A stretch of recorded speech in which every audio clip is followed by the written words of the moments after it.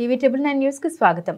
హిందూపురం జిల్లా ప్రభుత్వ ఆసుపత్రిలో రోగులకు అన్ని వేళలా అందుబాటులో ఉంటూ వారిని ఆరోగ్యవంతంగా తీర్చిదిద్దడానికి కృషి చేస్తామని స్థానిక ప్రభుత్వ ఆసుపత్రి సూపరింటెండెంట్ రోహిల్ పేర్కొన్నారు. హిందూపురం జిల్లా ప్రభుత్వ ఆసుపత్రిలో సూపరింటెండెంట్ విలేకరుల సమావేశం ఏర్పాటు చేసి ఆరోగ్య వైద్య సేవలు పట్ల పలు విషయాలు వెల్లడించారు. ప్రభుత్వ నియమ నిబంధన మేరకు ఎమ్మెల్యే నందమూరి బాలకృష్ణ సూచన మేరకు ప్రభుత్వ ఆసుపత్రిలో అన్ని వ్యాధులకు సక్రమమైన పద్ధతిలో రోగులకు వైద్య చికిత్సల సేవలు అందించి ఆరోగ్యవంతులుగా తీర్చిదిద్దుతామన్నారు. మాత్రం కంపల్సరిగా విత్ నంబర్ అన్నీ ఉంటాయి ఎందుకంటే మాది ఒకే కాన్సెప్ట్. ప్రజల దగ్గర నుంచి డబ్బులు తీసుకోకూడదు. రెండోది అన్ని సదుపాయాలు అందాలి. ఈ రెండే. సేవలు మావి ఆరోగ్యం మీది. సింపుల్ కాన్సెప్ట్ ఇదే. మేము మేము ఈ రోజు నుంచి అనుకున్నది కూడా నిన్న సేవలు మావి ఆరోగ్యం మీది. ఈ కాన్సెప్ట్ మీద హాస్పిటల్ నడవాలని మేము స్టాఫ్ అంతా ఈరోజు అనుకున్నాం. ఆ సేవలు ఏమేమి అనేది కూడా మీకు ఇప్పుడు సపోజ్ టెస్ట్ అన్నారు. అన్ని చేయాల్సిన టెస్టులు లేవు అంటున్నారు. Sir sir. ఈ సేవలు మావి మీది ఇదే దీనికి వేరే రోజు ఈ మీట్ పెట్టడానికి కారణం ఏమి అంటే మన హాస్పిటల్లో గత కొన్ని నెలల నుంచి అత్యాధునిక సేవలు మన హాస్పిటల్లో కొన్ని అందుబాటులో ఉన్నాయి. సో అవన్నీ ప్రజలకు అందుబాటులో ఉన్నాయి అని తెలియడానికి మీ ద్వారా తెలియపరుస్తామన్న ఒక చిన్న ఉద్దేశంతో మేము ఈ మీటింగ్ పెట్టడం జరిగింది. ఇక్కడ మీటింగ్లో నా పేరు డాక్టర్ రోహిల్ కుమార్ సూపరింటెండెంట్ తర్వాత డాక్టర్ డేవిడ్ రాజు సార్ ఆరంభ గారు sister Obulamma sister nursing superintendent గారు అండ్ సుజాత సిస్టర్ ఉన్నారు. ఇక్కడ ఆరోగ్యశ్రీ సేవలు మీకు తెలిసింది ఏ ఆరోగ్యశ్రీ కేసు ఇక్కడికి వచ్చినా కూడా ఆరోగ్యశ్రీ కార్డు ఉందంటే పేషెంట్కి అన్నీ ఫ్రీ మొత్తం. ప్రైవేట్ హాస్పిటల్లో ఎలా అని మీరు అనుకుంటున్నారో ఇక్కడ ఒకవేళ మాకు మందులు కానీ వేరే మెటీరియల్ ఏమీ లేకపోయినా కూడా మా ప్రభుత్వం డబ్బులతో మేము కొనేసి మేము పర్చేస్ చేసి ఆ తర్వాత పేషెంట్కి ఫ్రీగా ఇస్తాం. ఇలాంటి సేవలన్నీ ఉన్నాయన్నమాట. ఈ గత కొద్ది కాలంగా కొన్ని అంటే కౌంట్ అంటే కొన్ని సర్జరీస్ వల్లనే కౌంట్ కొంచెం తగ్గిందని విన్నాను. ఇప్పుడు మళ్ళీ నేను చార్జ్ తీసుకున్న తర్వాత ఒకసారి అంత ముందుకి ఈ గ- గత మూడు నెలలకి మూడు నెలల ముందుకి ఎలా ఏముంది అన్ని రిపోర్ట్స్ తీసుకున్నాను. తీసుకున్న తర్వాత ఇంకా కొన్ని సేవలు మన దగ్గర ఉన్నాయి. అవన్నీ ఇంకా బాగా ఎక్కువలో వాడకంలోకి రావాలి. కొన్ని మిషన్లు అన్నీ ఉన్నాయి. అవి కూడా వాడకంలోకి రావాలి అనే ఉద్దేశంతోనే మా స్టాఫ్కి కొంచెం ఎంకరేజ్ చేసి మా స్టాఫ్కి కొన్ని ఇన్స్ట్రక్షన్స్ ఇచ్చి ప్రజలకు కూడా తెలియాలి అనే ఉద్దేశంతో పెట్టడం జరిగింది మీటింగ్ సార్ అవి ఉపయోగం చేయలేదని చెప్పేసి చాలా సార్లు ఉన్నాయి సార్. అంటే ఎమ్మెల్యే గారు వస్తున్నారనే ఉద్దేశంతో గత ప్రభుత్వంలో చేయలేదన్నా లేకపోతే ఏమైనా వాడకుండా పెట్టలేదన్నా? తర్వాత పరిస్థితి బాగాలేదనే ఎమ్మెల్యే గారు సొంత నిధులు ప్రతి నెల. ఎమ్మెల్యే బాలయ్య బాబు గారు ప్రతి నెల ఇరవై ఎనిమిది లక్షల రూపాయలతోటి సొంత డబ్బులు ఆయన జేబులో డబ్బులతోటి మేము ఆరోగ్య రథాన్ని నడపడం జరిగింది. దాదాపు మూడు సంవత్సరాలు. అంటే హాస్పిటల్ పరిస్థితి బాగలేదన్న ఉద్దేశంతో ఆయన నడపడం జరిగిందండి.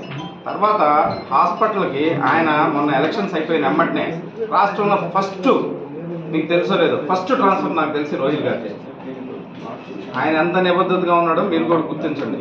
వెంబటనే మంచి డాక్టర్ అని చెప్పి మేము మళ్ళీ చూజ్ చేసుకుని వెంబటనే మళ్ళీ మా మన హెల్త్ మినిస్టర్ గారికి పెట్టి లెటర్ పెట్టి ఇమీడియట్గా ఆయన శాంక్ తెప్పించుకున్నాం. అదేవిధంగా నిన్న మీరు న్యూస్ రాశారు. హాస్పిటల్లో జ్వరాలు వస్తున్నాయని అందుకనే నేను ఈరోజు విజిట్ చేశాను. ఏది పరిస్థితి. ఎమ్మెల్యే గారు లేదు ఇమీడియట్గా వచ్చి హాస్పిటల్లో డాక్టర్ గారిని కన్సల్ట్ చేసి ఏంటంటే ఏదైనా జాగ్రత్తలు తీసుకోండి రోగుల పట్ల చెప్తున్నాం అదేవిధంగా ఫస్ట్ టైం ఈ రాష్ట్రంలో సీఎం రిలీఫ్ ఫండ్ చెక్ మనమే ఇచ్చామండి. ఆల్రెడీ మనకి లక్ష యాభై రూపాయలు చెక్ ఇచ్చాను ఎమ్మెల్యే గారు ఎమ్మెల్యే పంపించి సీఎం గారితో మాట్లాడి ఆ చెక్ తెప్పించి నిన్న కూడా ఒక అతనికి ఇచ్చాము హాస్పిటల్కి వెళ్ళిపోయారు. నిన్న మొన్న హాస్పిటల్ కూడా వెళ్ళడం జరిగింది. మళ్ళీ హాస్పిటల్ ఇంతకుముందు ముందు నేను వస్తే శుభ్రంగా లేదు. ఏ రోజున? ఎమ్మెల్యే గారు దాని మీద మేము రిక్వెస్ట్ చేస్తే రెండు మూడు సార్లు విజిట్ చేస్తా ఉన్నారు. ముందు ముందు అటువంటి ఎటువంటి ఇబ్బంది లేకుండా సమర్థులైన డాక్టర్లే తెస్తాము. కాకపోతే ఒక్కరోజు రాత్రిలోనే మార్పు రాదు. ఆయన కూడా కొంత మీరు టైం ఇస్తే అన్ని రకాలుగా ఆదుకుంటారు ఇంతకుముందు కూడా సమర్థుడైనటువంటి మన వెంకటస్వామి గారు లాంటి వాళ్ళు ఇచ్చి హాస్పిటల్ డెవలప్ చేయడం జరిగింది. దానితో ఇంతకుముందు ఉన్న ఓపీ ఎమ్మెల్యే గారు లాస్ట్ ఐదేళ్ళు తెలుగుదేశం ప్రభుత్వం ఉన్నప్పుడు చాలా ఎక్కువ ఓపీ ఉండేది. తర్వాత గ్రాడ్యువల్గా పడిపోతూ వచ్చింది. మళ్ళీ ఒక నెల రోజుల్లోనే మళ్ళీ పూర్వస్థితికి వచ్చింది. దీనికి కావాల్సిన నిధులు కానీ అన్ని ఎమ్మెల్యే గారు తెస్తారు.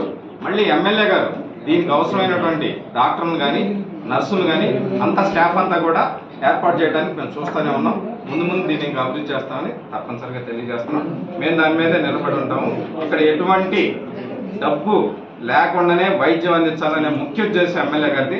ఇదే కాకుండా ఎంతో మంది ఇక్కడ ఉన్నటువంటి ప్రజలకి వసతారక రూపంలో మళ్ళీ హాస్పిటల్లో కూడా ఇక్కడ నుంచి క్యాన్సర్ ట్రీట్మెంట్ కూడా ఎమ్మెల్యే గారు ఉచితంగా చెప్పి ఆరోగ్యశ్రీలోనే చేపిస్తా ఉన్నారు. చాలా మంది మాకు ఇక్కడ వైసీపీ తెలుగుదేశం అని లేకుండా ఏ పేషెంట్ వచ్చినా వసతారకంలో ట్రీట్మెంట్ ఇప్పిస్తానే ఉన్నారు. అది కూడా మీరు గమనించాలి.